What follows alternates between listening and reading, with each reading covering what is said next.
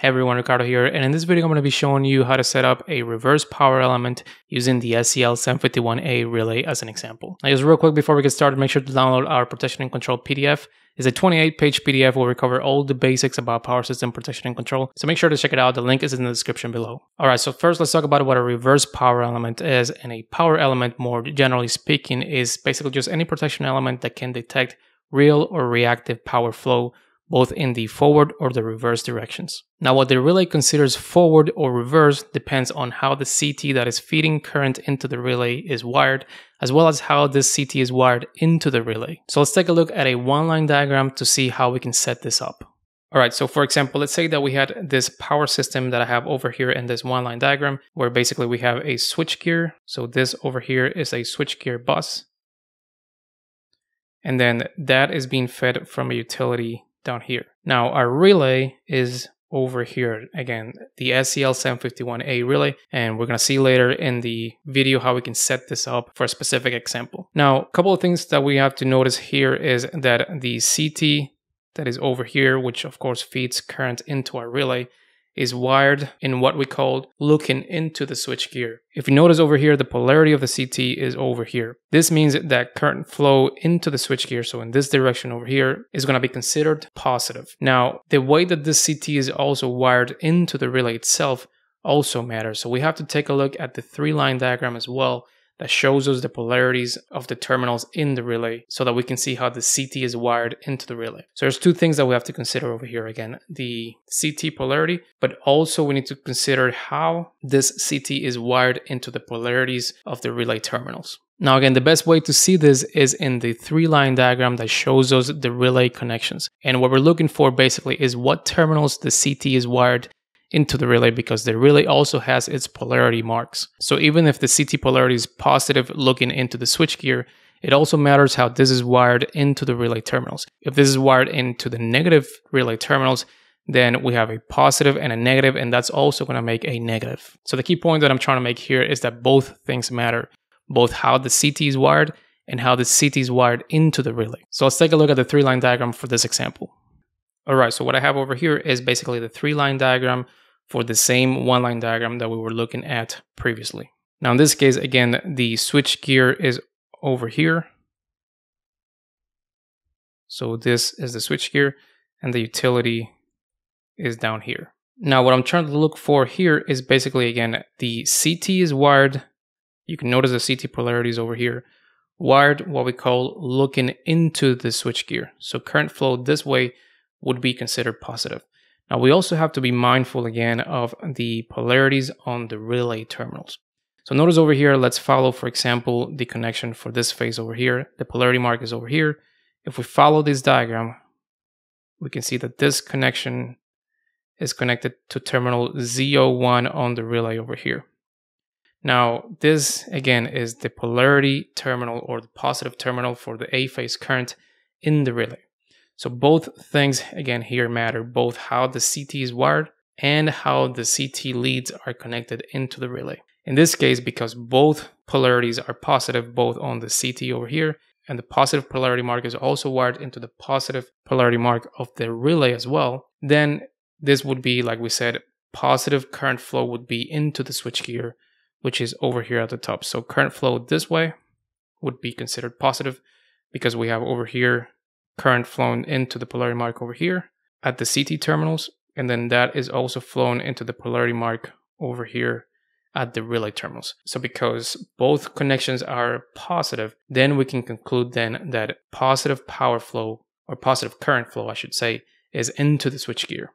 All right, so for this application, we've established that positive power flow would be into the switchgear and reverse power flow would be out of the switchgear and into the utility in this case. So now let's see how we can program a reverse power element that will detect power flow into the utility, real power in this case, using the SEL751A relay as an example. Now notice that the CT leads for the ABC currents are connected to relay inputs Z01, Z03, and Z05, as you can see over here. So all of the polarity marks are on the odd number terminals.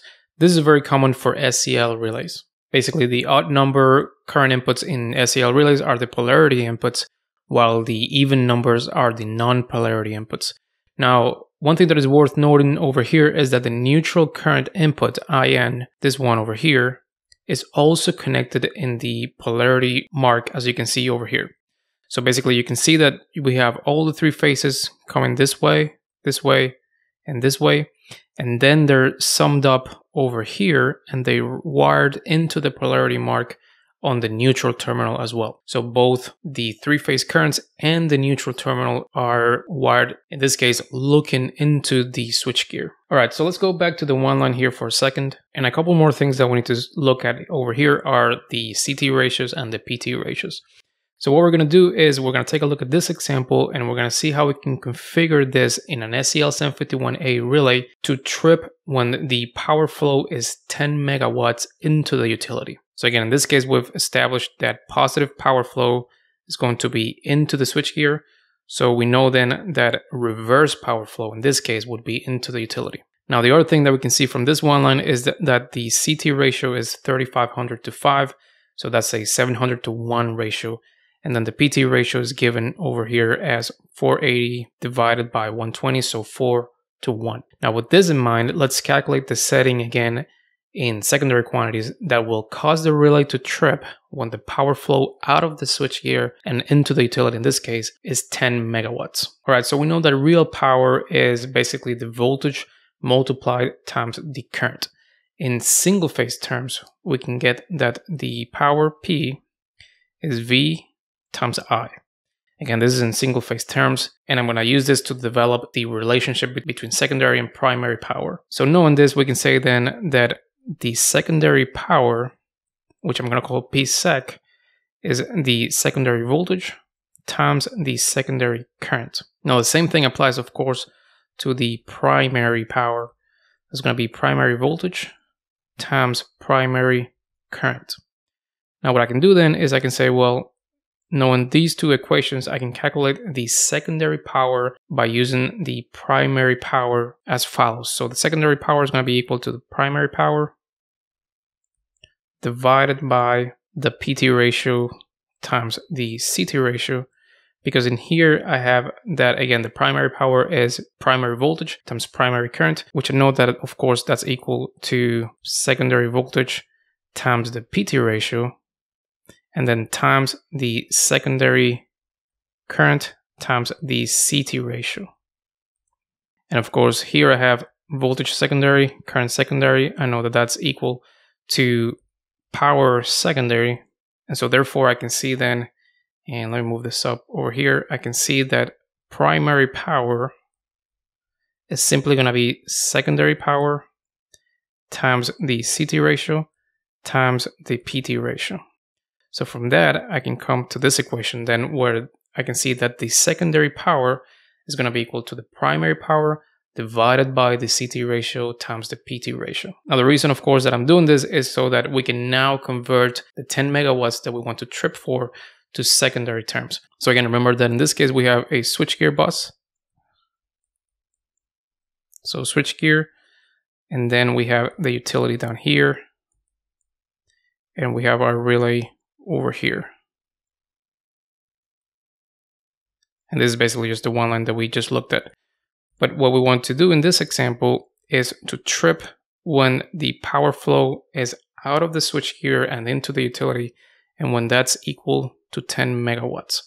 Now that's of course primary power. We need to convert that to secondary power, which is what we're doing this calculation over here. So then I can say that the secondary power is going to be again the primary power, so 10 megawatts, so 10 times 10 to the 6 divided by the CT ratio, which is 700, times the PT ratio, which is 4. So if I calculate this, I get that this is equal to 3571.43 watts secondary. So again, let me repeat this Basically, what we're doing here is we're converting 10 megawatts into what the relay will actually see in secondary terms because, of course, we're reading current through a current transformer and we're reading voltage through a voltage transformer. So, in secondary real power terms, 10 megawatts is equal to 3571 watts. All right, so now let's see how we can configure this into the SEL751A relay. Now what I have over here is an example SEL751A settings file with default settings. Now a couple of things that we need to do, of course, we need to first configure the CT ratio and the PT ratio. We can do that over here under group one, set one.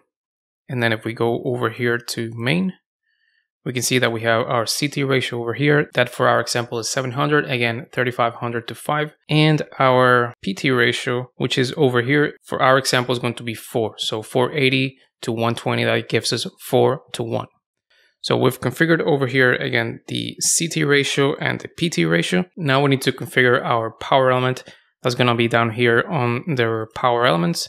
And we can configure a single element, so one element that is a three phase element. So 3P1 in this case stands for one element. And you can see here that we could have two if we wanted to, but for this case, we just want one that trips at 10 megawatts. So we're going to have one, and then the three stands for three phase. So it's a three phase element.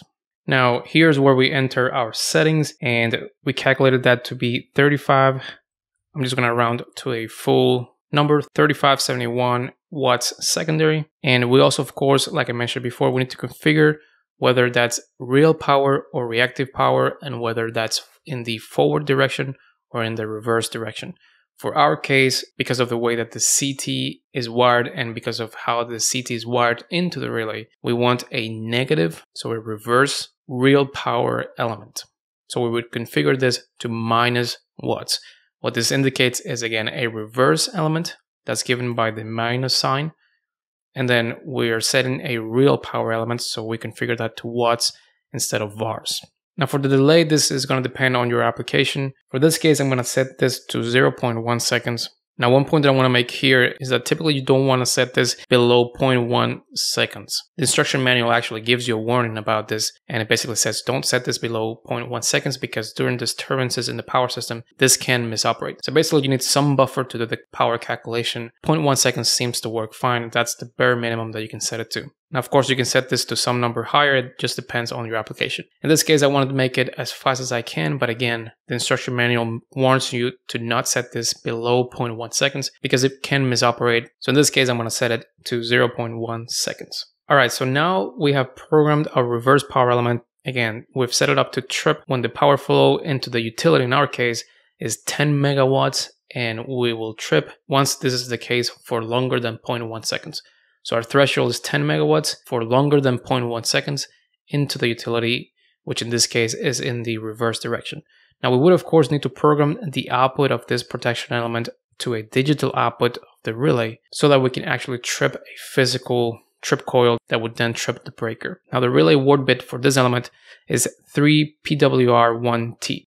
So for example, if we wanted to configure our output 103, which I can find over here under logic and then slot A, output 103, again, I want to configure this to be the output of the reverse power element, which if you look at this up in the manual, that's relay word bit 3 PWR 1T.